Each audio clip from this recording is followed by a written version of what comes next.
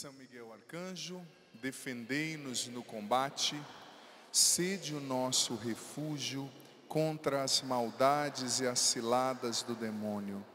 Ordena-lhe Deus, instantemente o pedimos e vós, príncipe da milícia celeste, precipitai no inferno a Satanás e a todos os espíritos malignos que andam pelo mundo para perder as almas. Levanta-se Deus, por intercessão da bem-aventurada Virgem Maria, São Miguel Arcanjo e todas as milícias celestes, que sejam dispersos seus inimigos e fujam de sua face todos aqueles que vos odeiam. Nós consagramos, Senhor, esse lugar ao teu sangue, Jesus. Invocamos a presença dos seus anjos aqui, em cada metro quadrado desse centro de evangelização. Em nome do Pai, do Filho, do Espírito Santo. Amém. Amém. Queridos sacerdotes aqui presentes, o diácono, as queridas irmãs, Madre Kelly, todos que estão presentes conosco, você que está aqui no centro de evangelização, vou pedir para os cinegrafistas mostrarem mais uma vez quanta gente rezando conosco, que lindo que está sendo esse acampamento. Você nos acompanhando pelo sistema Canção Nova de Comunicação. Veja bem, hoje a igreja nos dá o presente de celebrar um dos santos que tem uma importância muito grande, muito singular na construção de tudo aquilo que a gente crê, que é o grande Santo Tomás de Aquino, que escreveu a Suma Teológica, que escreveu vários tratados, homem de uma inteligência singular, e também, ao mesmo tempo que era muito inteligente, ele também era muito piedoso, ele também era um homem muito simples, de muita oração, deixou um legado fantástico para nós. Todos nós sacerdotes, todo mundo que estuda teologia, estuda muito Santo Tomás de Aquino. E eu particularmente gosto muito dele, não é? Estou muito feliz por hoje podermos celebrar a sua memória. Vamos aplaudir Santo Tomás de Aquino, todo o legado que ele nos deixou para nós cristãos, para nós católicos. E você que esteve na missa ontem, você percebeu que graças a Deus, a liturgia de hoje, querido filho, querida filha, você aqui, você em casa, ela tem uma conexão profunda com aquilo que nós celebramos ontem, com aquilo que nós pregamos ontem, com aquilo que nós refletimos ontem. O Padre Jonas sempre nos ensinou na canção nova a ver na liturgia de cada dia a providência de Deus específica para nos guiar para uma determinada direção, onde o Espírito Santo e onde Deus quer que nós cheguemos. Então a liturgia de hoje é muito especial. Quem aqui se considera uma pessoa de fé? Eu vou perguntar como eu perguntei ontem. Levanta a mão. Aquela pessoa de fé mesmo assim. Você sabe o que é fé? O que é fé? Não responda não. Só estou perguntando para você pensar. Quero você, como diz o mineiro, eu quero catucar sua cabeça aí, para você refletir. O que é fé? A primeira leitura de hoje nos dá uma das definições mais precisas e mais lindas sobre o que a fé é de toda a Sagrada Escritura. A primeira leitura, carta aos Hebreus, capítulo 11, versículo 1, diz o seguinte: A fé é a certeza das coisas que a gente ainda não vê. Se você vê, não é fé, é visão. Se você não vê e espera, é fé. Você pode repetir isso depois do padre com muita firmeza, com muita alegria? A fé, a fé. é a certeza, é a certeza daquilo que eu ainda não vejo, daquilo que eu ainda não vejo, mas que eu sei, mas que eu sei que Deus está fazendo. Que Deus está fazendo. Então, a primeira leitura já nos ajuda a entender que a fé é um olhar espiritual para todas as coisas. A fé, eu gosto sempre dessa frase, que fé é assim: primeiro você coloca o pé, depois Deus coloca o chão. Fé, usando a metáfora, é isso. É eu pisar aqui achando que tem alguma coisa, né?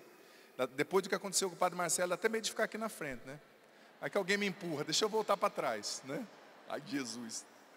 Mas fé é isso, né? E eu tenho o tamanho dele. Vai que a pessoa vai pelo tamanho, né? Fala, vou, empurrar outro grandão. Mas fé é você acreditar que existe o que não existe, o que ainda não existe, né? E veja bem, o catecismo, catecismo da Igreja Católica, no parágrafo 166, nos ensina que a fé é uma resposta livre do, Deus, do ser humano ao Deus de amor que se revela. Catecismo 166. Deus se revela e eu livremente respondo, crendo naquilo que eu ainda não vejo. Eu vou dizer para você, humanamente falando, a fé é uma loucura. Diga para quem está do seu lado, a fé é uma loucura. Mas é uma loucura que salva, diga para essa pessoa. É uma loucura que cura. É uma loucura que nos faz felizes. E é isso mesmo. E é isso mesmo. Estou aqui com as irmãs, né, que tem o carisma carmelita. Eu lembro no livro Subida ao Monte Carmelo de São João da Cruz, que é bem difícil de entender, no capítulo 9, São João da Cruz fala muito sobre a fé, sem a qual não pode haver uma união com Deus. Não tem como a pessoa chegar a um estágio de união com Deus sem uma fé purificada, uma fé verdadeira, uma fé intensa. Nós precisamos ser pessoas de fé. E a primeira leitura também fala, veja bem, da recompensa que os homens e mulheres de fé tiveram ao longo da história. Fala de Abraão, depois, se você continuar lendo o capítulo 11, vai falar de Moisés, vai falar de Enoque, vai falar de Elias, vai falar de Sara, esposa de Abraão, que ficou grávida em idade avançada, humanamente era impossível. Então, há uma íntima conexão entre a fé e crer naquilo que humanamente é impossível. E eu digo para você, já saindo da primeira leitura e entrando no Evangelho, da tempestade acalmada, esse evangelho é um presente para o nosso encontro. Esse evangelho é um pedagogo para nos ensinar o que é fé. Quero te fazer uma pergunta: existe alguma tempestade na sua vida, sim ou não? Quais são as suas principais tempestades hoje? Olha, talvez seja uma tempestade emocional, psicológica, financeira. Padre do céu, estou devendo até a meia, né? Para não falar outra, outra roupa que usa por baixo aí, né? Padre, talvez seja uma, uma tempestade física, uma doença. Talvez seja uma tempestade na sua fé, né? uma noite escura, passiva ou ativa. Talvez seja uma tempestade na sua família, no seu casamento. Todos nós temos tempestades. Mas eu digo para você, essa passagem é fantástica. Porque, em primeiro lugar, veja bem, Jesus, Deus gosta sempre de desafiar a nossa fé. Desafiar. Todo homem e mulher de Deus na Sagrada Escritura, todo santo, santa, teve a sua fé desafiada. E isso aconteceu com Abraão. Deus lhe deu o filho da promessa, ele e Sara em idade avançada, Gênesis 22, 1. E Deus pede a Abraão: vai lá e oferta o seu filho, oferta Isaac em sacrifício provou a fé de Abraão, desafiou a fé de Abraão, e é isso que aconteceu no evangelho de hoje, porque veja bem, Jesus disse para eles: Vamos para o outro lado. Eles estavam em um lado do mar da Galileia. Quem já teve oportunidade de estar numa peregrinação, conhecer ali o mar da Galileia, sabe o que o padre está falando. É um lago, né? Eles estavam de um lado e iriam passar para o outro lado. Jesus disse: Vamos para o outro lado. Mas Jesus sabia que ia acontecer uma tempestade. Jesus sabia que eles iam enfrentar aquela prova, mas por que que Jesus permitiu? Por que que Deus permitiu? Veja bem, Deus não permite uma prova para te humilhar, mas Ele permite uma prova, primeiro, em primeiro lugar, para te ensinar, e em segundo lugar, para manifestar a glória dEle. Você que está na provação, você vai sair do outro lado mais forte, curado, feliz e cheio do Espírito Santo cheio do Espírito Santo. Quando Deus permite uma prova, é porque Ele vai tirar um bem infinitamente maior dela. Ou promessa sem jeito, né? Jesus pediu e eles foram, no meio do mar. E eles já estavam indo para um lugar que desafiaria a fé deles, porque era, eles iriam para Decápole, Decápolis, quatro cidades, eram quatro cidades Decapolis, melhor dizendo, quatro cidades que não eram judias, eram pagãs, lá o povo não acreditava em Deus. Só de Jesus chamar eles para irem do outro lado, na Decápole, já era um desafio. Mas o maior desafio estava no meio do mar. O maior desafio estava no meio do mar. E olha, preparando essa homilia, eu pensava o seguinte: quais são as principais tempestades das famílias hoje? Porque eu sou sacerdote, as irmãs também ouvem, os irmãos padres. O que mais eu ouço são problemas relacionados à família. Às vezes você está até bem, você está até bem, mas é alguém da sua casa, é um filho na droga, é uma filha doente, é um pai que não se abriu a Deus, é um marido que só trabalha e está cada vez mais distante, é a pornografia no casamento, ele se afastando de você, são as traições. Então eu pensava qual eram, quais são as maiores crises de hoje. E eu vi uma pesquisa fantástica falando que as principais crises nas famílias hoje, a principal tempestade, tem um, um filósofo francês chamado Luc Ferry, que ele escreveu um livro Família Amo Vocês. Ele deu uma entrevista tão interessante falando que o principal problema nas famílias, claro, tem vício, tem adultério, tem muita coisa que é consequência desse problema principal. E sabe o que ele dizia? Qual que era o problema principal? Ele disse: vivemos numa sociedade individualista.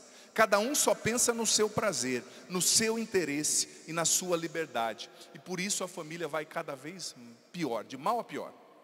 Por quê? Porque nós estamos cada vez mais egoístas. Eu só penso no meu prazer. Então eu vou usar droga, eu vou beber, que se exploda o restante. Eu só penso em mim. Então eu não quero ficar com meu pai, eu quero ter o prazer do celular, nem que esteja na hora da janta. Eu não quero cuidar da minha esposa que já está envelhecendo do meu lado. Eu quero uma mais nova. É, é a busca da facilidade, do prazer, é o egoísmo. Isso está na raiz. E eu poderia falar muito mais sobre isso. Aí vem os adultérios, aí vem os problemas. Mas eu não vou nem me focar nas crises e nas tempestades. Eu vou me focar nos ensinamentos desse evangelho. Você sabia que eu tirei hoje oito lições desse evangelho? Repita depois de mim: oito lições mas está muito fraco. Oito lições. Desse Evangelho. Eu tenho certeza que você vai se admirar com o que nós vamos aprender desse evangelho hoje. Talvez coisas que você nunca percebeu. Oito coisas que a gente pode aprender desse evangelho. Primeira coisa, olha só. Existem detalhes que passam desapercebido. Jesus não estava no barco com eles? Sim ou não? Eles não sabiam que Deus, sabiam que Deus estava com eles, sim ou não? Mas não basta saber que Deus está com você, você tem que confiar na proteção dele. Eles sabiam que Deus estava com eles, eles viam Jesus. Eles viram Jesus, mas eles não confiavam em Jesus. E eu digo para você, essa é a primeira lição do evangelho. Enquanto você só saber teoricamente, ah, Deus está comigo, né? Ah, se Deus quiser, vai dar tudo certo, né? Amém, Jesus, nós tudo, né? Já viu as pessoas que fazem assim, sete nome do Pai, né? Amém, Jesus, nós tudo, né? Tinha uma veinha que falava assim, uma senhorinha, né? Eu nunca entendi o que ela queria dizer, mas eu falava, amém, amém, amém, não é? Deus está com tudo, Deus está com tudo nós. Mas o que, que adianta você achar que Deus está com tudo nós, se a gente não confia na proteção dele? Porque eu digo para você, teoricamente, eles viram Jesus está no barco mas eles não acreditavam que Jesus era capaz de protegê-los. Sabe por quê? Sabe qual é o primeiro sinal que eles não acreditavam que Jesus era capaz de protegê-los? A agitação. Porque no fundo, no fundo, os discípulos estavam mais agitados que o mar. E a primeira coisa que o diabo faz quando ele quer roubar a confiança sua em Deus é semear no seu coração agitação, dúvida e preocupação excessiva. Quanta gente aqui em casa com preocupação excessiva. Ai meu Deus do céu, o que, que vai acontecer amanhã, né? Nossa, eu escrevi um livro há pouco tempo que se chama A Libertação da Mente Ansiosa. Mas eu não vou nem falar sobre isso, que ninguém tem esse problema aqui, eu acho, né, irmãs? Todo mundo tranquilo aqui, calmo, sereno, né? Hum, sei. O inimigo tem roubado a fé de muita gente, por quê? Semeando essa agitação como se tudo dependesse de você. A história que eu contei ontem, do pai, do, a criança cujo piloto era o pai, você lembra da missa de ontem? A gente muitas vezes sabe teoricamente, ah, Deus está comigo, mas a gente no fundo não crê. Por quê? Porque a gente vai deixando essa agitação tomar conta, a gente vai deixando a dúvida entrar, a gente vai deixando a preocupação excessiva. A palavra ansiedade vem do grego, na Bíblia, né? Merim naó, que queria dizer dividido. A pessoa ansiosa, ela está dividida, ela não consegue, ela não está aqui no encontro porque ela está com a cabeça na casa dela. Aí quando ela chega na casa, ela está com a cabeça no encontro. Ela está sempre dividida, né? Que nem um amigo meu, era tão ansioso, queria tanto ir para a praia, ficou três semanas planejando, perdeu o sono. Aí quando chegou na praia, ele dormiu os quatro dias, porque estava tão cansado. Falei, ô, oh, você nasceu para ser pobre, eu falei para ele. Ele riu, falou, é padre, pobre e ansioso, né? Mas às vezes a gente fica nessa agitação. Os discípulos estavam mais agitados que o mar. Isso prova que eles sabiam que Deus estava com eles, mas eles não criam na proteção de Deus. Deus está com você, sim ou não? Mas você crê que Ele te protege no meio da tempestade? É, a segunda sim já vem, sim.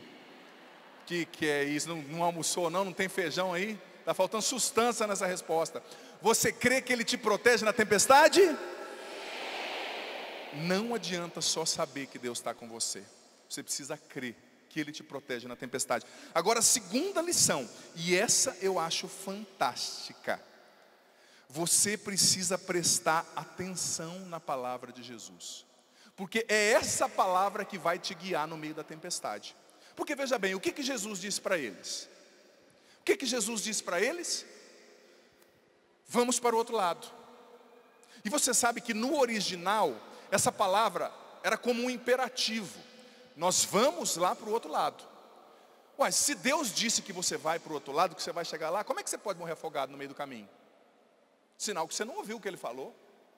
Se Deus falou para você, você vai atravessar. Ah, eu vou morrer afogado. Ele, Jesus, por que Jesus estava dormindo? Eu acho que Jesus estava dormindo de raiva. Ele deve ter tomado um, um zolpidem. Não, Jesus não precisava dessas coisas. Dramin, não sei não vou nem ver. Ele falou: Você vai atravessar do outro lado. E eles no meio desesperados. Quando você não ouve a voz de Deus, você se desespera na tempestade. E eu digo para você que está aqui, você que está em casa: Deus já está falando muitas coisas que você ainda não percebeu. Mas sabe esse problema enorme aí que está te preocupando? Deus já está trabalhando e já está trazendo a solução. Talvez Ele já te mostrou e você não viu. Talvez Ele já te mostrou e você não percebeu mas ele já está falando com você. Mas esses homens, eles ficaram tão agitados, eufóricos, eles não prestaram atenção na palavra de Jesus, porque Jesus disse: Nós vamos atravessar do outro lado. Eles deviam confiar, simplesmente confiar e guardar a palavra de Jesus. Gente, eu ontem eu vi uma história que me chamou tanta atenção, uma história triste mas ao mesmo tempo bonita em algum sentido. Tem uma região da Síria que foi uma das mais atingidas pela, pela guerra, pelos bombardeios, na época da guerra da Síria, em 2020, ainda no começo ali da pandemia. E na província de Idlib, tinha uma cidade que estava sendo muito atingida pelos bombardeios, bombardeios, bombardeios. Tinha morrido já nesse conflito 380 mil pessoas, mais de 380 mil pessoas. Aí um pai com uma menina de três anos. Falou: O que, que eu vou dizer? O nome do pai era Abdullah Mohammed. Eles eram islâmicos, né? Ele falou: O que, que eu vou fazer com essa minha filha de três anos? Eu não quero que ela seja traumatizada. Ele contou na entrevista que no dia que ela nasceu, a cidade foi bombardeada. Imagina. Aí o que, que ele combinou com a criancinha de três anos? Ele chamou ela para a sala e falou assim: Hoje é um dia muito especial na nossa cidade. E a menininha toda felizinha, né? Hoje vai ter, vão ter fogos de artifício aqui. O nome da menina é Salwa, três aninhos, e filmando, né? E ela, ê, fogos de artifício. De repente, bum! Eram os mísseis estourando a cidade. E a menininha gargalhando, rindo e caía no chão. E cá, cá, cá, cá, cá. E o pai, ê, mais um foguete, mais um rojão, bum! Eu vi aquilo. Depois ela foi e se jogou no braço do pai, né? Eu vi aquilo e falei, gente, é trágico o que está acontecendo. Mas é lindo o exemplo dessa menina. Porque ela é o que eu e você precisamos ser. Os mísseis, as bombas estão caindo do nosso lado, mas eu não estou nem aí, porque eu só guardei a voz do meu pai. É ele que me disse que vai ficar tudo bem, e eu confio nele. Eu guardo a voz dele no meu coração. Estava caindo míssel, mas ela não estava nem aí. Por quê? Porque ela confiava no que o pai tinha dito. Ela confiava que o pai falou. Por que, que Jesus estava dormindo no meio da tempestade, gente? Porque ele guardou, ele se focou na voz do pai, não no barulho das ondas. Todas as vezes que você não se foca na voz de Deus, presta atenção, mas se foca no barulho das ondas, você começa a se desesperar e o seu barco começa a afundar. Gente, Jesus levou um travesseiro, disse a Bíblia. E ele estava lá na proa, na polpa, desculpa, atrás do barco. O negócio caindo fogo, caindo céu, caindo tudo, todo mundo desesperado e ele lá dormindo. Se bobear, estava até dando uma roncadinha, né? Claro, um ronco santo, né? O ronco de Jesus. Mas por que, que ele estava em paz? porque ele se focou na voz do pai, como a Sálua, caindo bombardeio, e ela feliz. Ah, meu pai disse que é fogo de artifício. Eu guardo a voz do pai, não o barulho lá de fora. Claro, é uma história triste, mas que dá para a gente usar como analogia para a nossa fé. Porque no meio da tempestade, você precisa prestar atenção na palavra de Jesus. Porque é a palavra de Jesus que vai te conduzir no meio da tempestade. Talvez você aqui, você em casa, você esteja hoje no meio de uma tempestade. Uma tempestade que abala a sua fé. Uma tempestade que vem para mexer com as suas estruturas. Ou talvez a tempestade já até passou e você está só com os estilhaços atingindo você. A tempestade de ter perdido alguém, de não ter conquistado o que você gostaria, mas foque-se na voz de Deus, Ele ainda está no controle. Terceiro ensinamento: e isso é fantástico. Você pode estar em paz no meio da tempestade. Você pode estar em paz na cova dos leões, na fornalha de fogo, na tempestade. No, você pode ter paz no meio da crise, você pode ter vida meio, no meio do caos. É aquilo que São Paulo disse na carta aos Filipenses, capítulo 4. Olha, se vocês orarem, se vocês firmarem o vosso coração em Cristo, vocês vão ter uma paz que excede todo o entendimento. O que é uma paz que excede todo o entendimento? É a paz daquela pessoa que tinha motivo para estar desesperada e está serena, confiando em Deus. Excede o entendimento, é além do que você pode compreender. É possível ter paz no meio da tempestade. Você pode repetir isso depois de mim? É possível ter paz. É possível ter paz. No meio da tempestade. No meio da tempestade. Porque Jesus está no barco está no barco. Essa foi a terceira lição. Agora, quarta lição desse evangelho. A nossa fé tem o poder de despertar Jesus. Desculpa, a nossa oração tem o poder de despertar Jesus. Porque veja bem, foi desajeitada a oração dos discípulos? Foi, mas eles rezaram. O que, que eles fizeram? Um já podia ter desanimado e falado: Ah, já que eu vou morrer mesmo, eu vou pular no mar, né? Cometer ali, acabar com a própria vida. O outro podia ter falado, ah, já estou perdido mesmo, vou ficar aqui quieto. Não, eles foram falar com Jesus, Jesus, Jesus, Jesus. E às vezes no nosso desespero, ao invés da gente acordar Jesus, ao invés da gente clamar para que Ele desperte, a gente fica esperando ver o que, que vai dar, o que, que vai acontecer. Não, não. A sua fé tem o poder de despertar Jesus. E Santo Tomás de Aquino, que a gente celebra hoje, ele disse o seguinte: na Suma Teológica, na segunda, segunda, questão 83, artigo 1.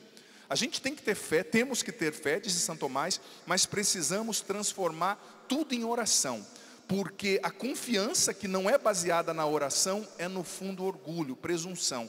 A oração é a chave que abre as portas da misericórdia divina.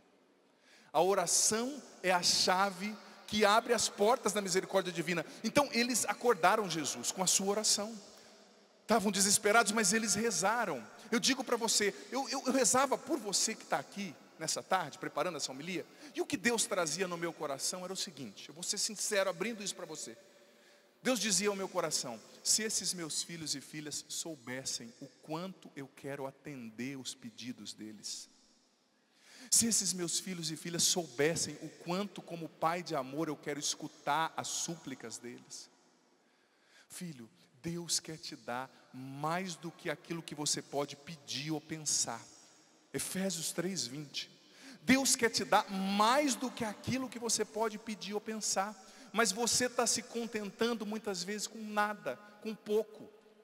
Sabe, Santa Madalena de Pazzi dizia que quando nós rezamos pedindo coisas grandes a Deus, nós o alegramos profundamente, porque nós damos a Ele a possibilidade de fazer o que Ele mais gosta de fazer, que é ser bom com todos. Deus quer te atender. Só que muitas vezes a gente se acostuma com uma vidinha mais ou menos. Ah, tá tudo bom, pá, tá assim mesmo, é assim mesmo, né? Meu marido é assim, minha sogra é assim, ai, padre, a velha tá difícil. Ah, pá, tá difícil a minha casa. Não, não, não se acostume com o pior. A sua vida pode ser mudada através da sua oração. E o Padre Jonas nos ensinou a entender que Deus escuta a oração feita nesse lugar. Deus escuta a oração. Não se acostume com o pior. Que nem a história daquele bispo. Diz que o bispo foi sagrado bispo há pouco tempo, foi enviado para um lugar bem pobre assim do país, né, para ser bispo. Aí no primeira missa dele, uma senhora fez o foi fazer o almoço para ele depois da missa, né? Um lugar bem simples, bem pobre. E ela naquele desespero, meu Deus, eu vou fazer comida para o bispo. Né? O que será que o bispo gosta de comer? Nossa, que hora que o bispo vai chegar? Será que ele gosta de sobremesa? Será que ele é diabético? Já viu aquele desespero, né?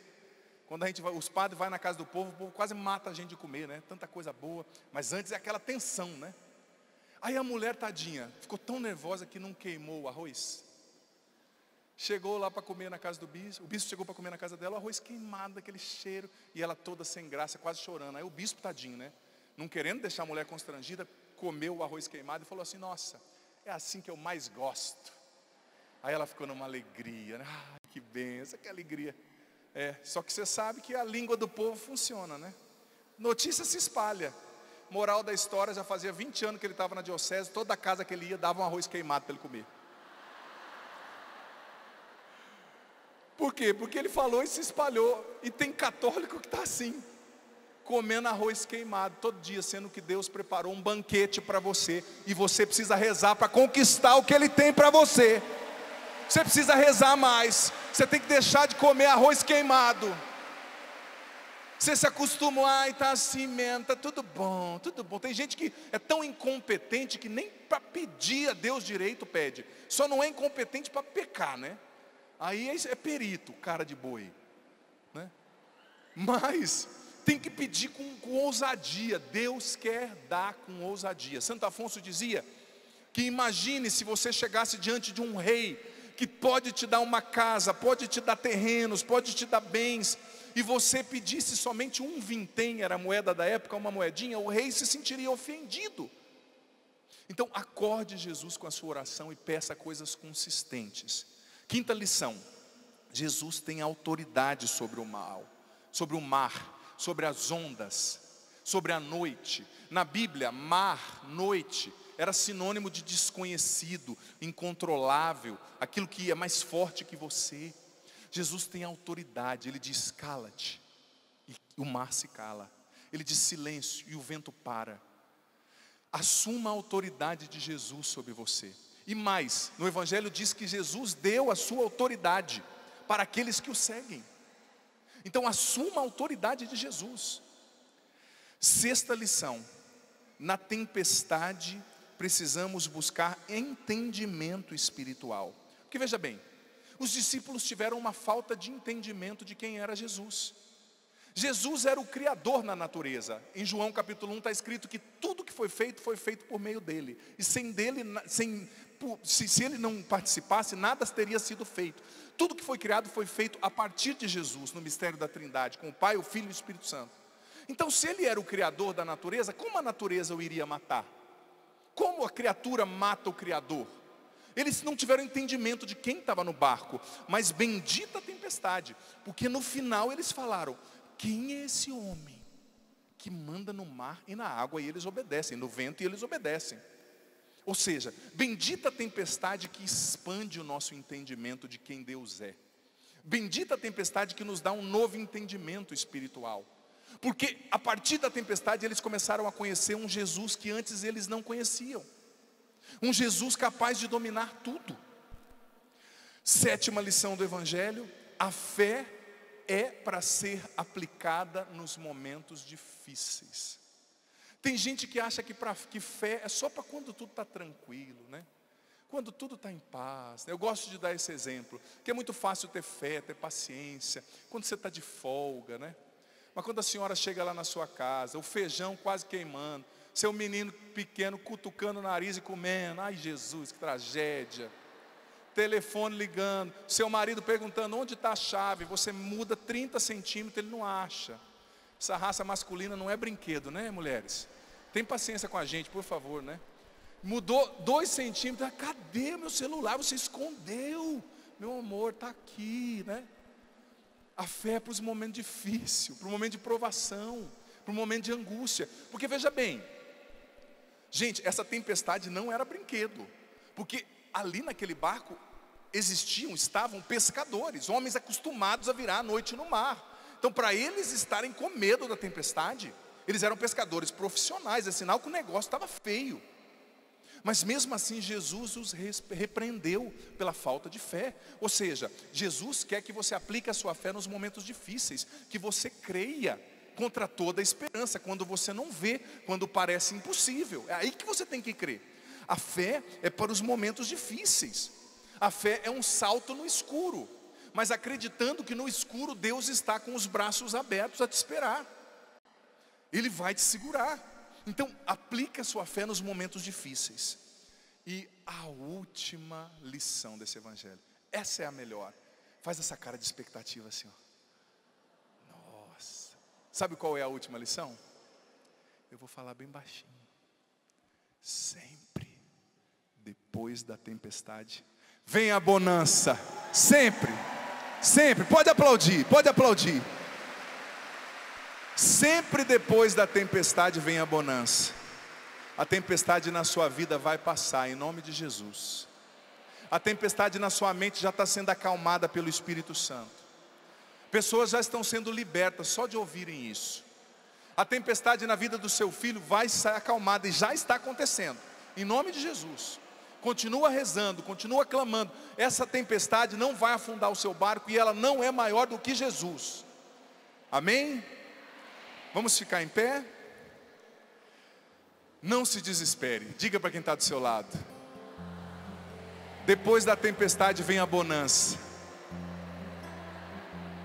vem a calmaria. Deus está preparando o melhor para você.